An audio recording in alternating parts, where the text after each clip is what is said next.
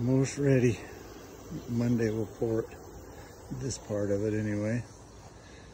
And get that ready next for the next pour. And today, pull a couple bushes out.